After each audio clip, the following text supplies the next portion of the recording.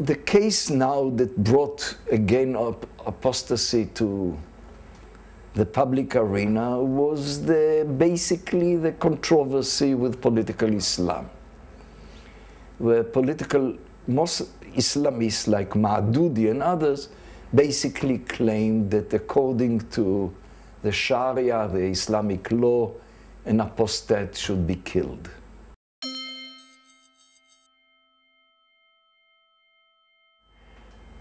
Apostasy basically is uh, changing your religion. But uh, I deal with apostasy with it. I think that the root, the Greek root terms for apostasy, which is rebellion, puts it in a context of political theology.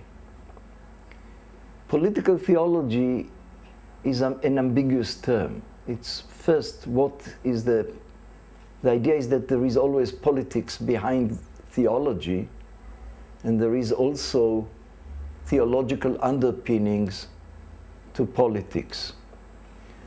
And I think that apostasy is a very interesting notion in political theology because the main trouble with apostasy, the way the Abrahamic religions understand apostasy, is in terms of treason namely on extreme disloyalty to authority, less than an issue of disbelieving in certain beliefs or creeds. It's more undermining the political structure that organizes the religion.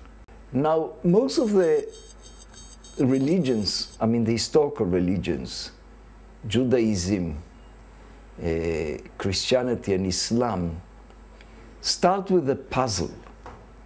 And the puzzle is how can anyone who saw the light, was raised in a, re a religion, or was exposed to the religious truth, suddenly can deny the obvious? So for them, it called for an explanation. How come that anyone who saw the truth suddenly denies the truth? For them, it's not a multicultural market that you just pick and choose. And, uh, but basically, it's about truth. And the question was, how can anyone deny the, an obvious truth? It's like someone denying that 2 plus 2 equals 4. If you don't argue in terms of arithmetic and trying to convince something that is wrong or she's wrong, you think you find you try to find other explanations that there is something wrong. Either there is insanity or extreme case of irrationality, or if this is not the explanation, then there is some rebellion going on, trying to undermining the authority of, of, of something. And that's already a paradox in all the three religions. Because the founders of the religions, be it Abraham or Jesus or Muhammad, each one of them turned against his parents and his family and his tribe by bringing the new religion. So each one of them was disloyal to the, to the traditional religion and turned against it in the name of the true God.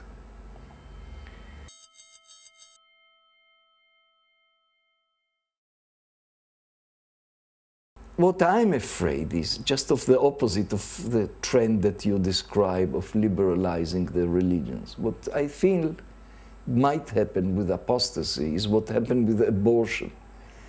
That this will be the the defining lines.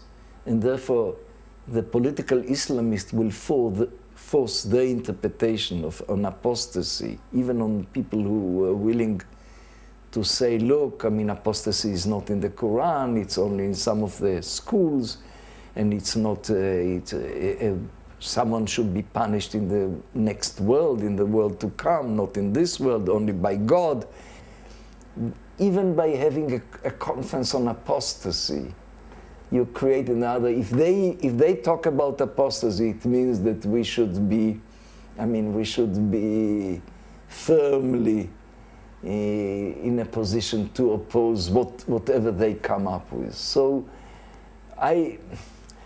I, I doubt it. How I mean, I doubt how it will go, but uh, my sense of it that the dynamics will make apostasy a battleground rather than a meeting ground. That's that's my feeling, but but I hope I'm wrong.